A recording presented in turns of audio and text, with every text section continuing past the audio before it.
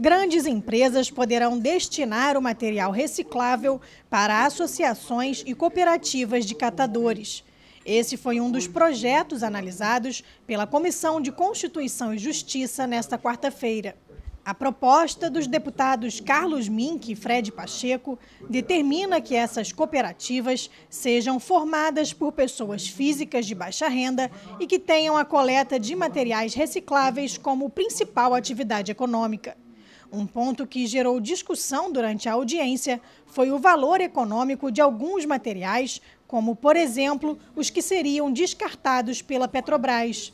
Mas, de acordo com o deputado Carlos Mink, essa já foi uma preocupação pensada na elaboração da proposta e que a ideia é fortalecer as cooperativas e ampliar a coleta seletiva no Estado. Tivemos o cuidado de excetuar desse valor que será destinado às cooperativas os materiais de grande volume e grande valor. Por exemplo, os dutos da Petrobras tem que trocar mas tem um grande valor comercial e geralmente é comprado por siderúrgicas como a Gerdau e outras, mas esse não é o objeto. Então, o próprio projeto nosso exclui dessa obrigação de destinar esses resíduos recicláveis às cooperativas, exclui os materiais de grande valor da indústria do petróleo e gás, etc. Então, já tivemos essa preocupação. Essa nossa lei, que hoje teve um parecer pela constitucionalidade e vai agora a plenário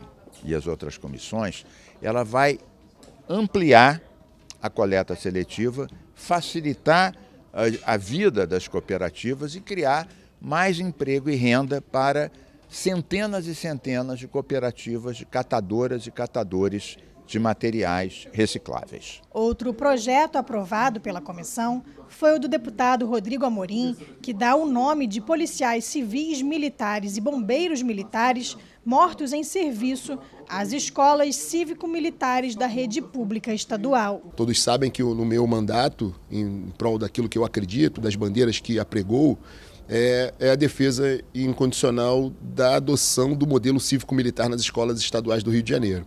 E a partir do momento que a gente já tem essas escolas em funcionamento, considero que nada mais justo que o nome em homenagem a essas escolas seja em razão é, da pauta, que são os policiais, são os nossos heróis, bombeiros, policiais militares, é, os policiais civis, aqueles agentes da segurança pública, policiais penais, agentes do DEGASE, que foram é, é, em óbito no combate que a gente vive no Rio de Janeiro. Durante as duas reuniões desta quarta-feira, a CCJ aprovou 71 propostas sobre datas comemorativas. A comissão também apresentou um balanço trimestral que mostra que já foram analisados mais de 3 mil projetos pelos parlamentares esse ano. De acordo com o presidente Rodrigo Amorim, essa celeridade tem gerado maior eficiência legislativa e garantido o melhor andamento dos projetos na casa. Apresentamos números recordes. Foram, é, estão tramitando na casa atualmente 3.395 projetos, já foram distribuídos mais de 700 projetos, sendo 600 já julgados aqui na CCJ. Ou seja, o que a gente também falando desde o início é a valorização do trabalho das comissões, uma vez que os projetos têm ido ao plenário, é, já com o amplo discussão sobre a constitucionalidade, sobre a forma dos projetos, e eles já vão saneados para as comissões temáticas.